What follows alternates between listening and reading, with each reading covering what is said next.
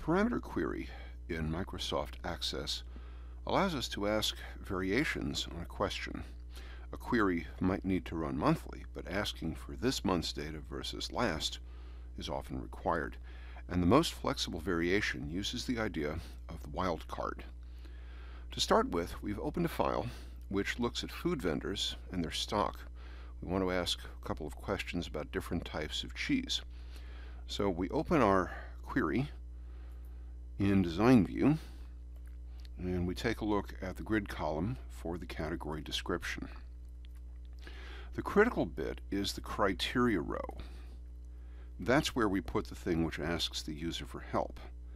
If we type in a caption, like enter the category, and put square brackets around it, the program usually expects the brackets around a field name. When it can't identify the field, it thinks ask the user. So it puts whatever's in the brackets in a message box to us, and we then type in what we're looking for.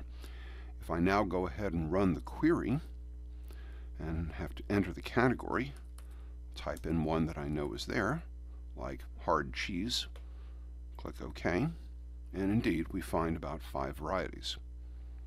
I'll go back to Design View now. Using wildcards, though, makes this more powerful. To add the wildcard, I'm going to go ahead and jump into what's called a zoom window. I can right-click on my item here that I created and click on zoom. Then I need to type the word like ahead of my prompt and on either side of the prompt I now have to add in quotes an asterisk. I also need to add ampersands to concatenate or join together whatever we're going to throw into the prompt along with the asterisks. Essentially, I'm saying whatever it starts with and whatever it ends with is fine, but the stuff in the middle is what I'm really looking for.